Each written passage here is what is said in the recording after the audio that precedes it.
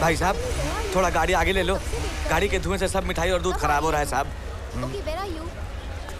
अच्छा ठीक है। क्यों बे? तेरा भट्टी की आग से। मेरा गाड़ी का पेंट भी तो खराब हो रहा है।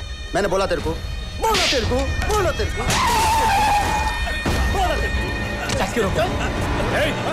क्यों मार रहे हो उसको?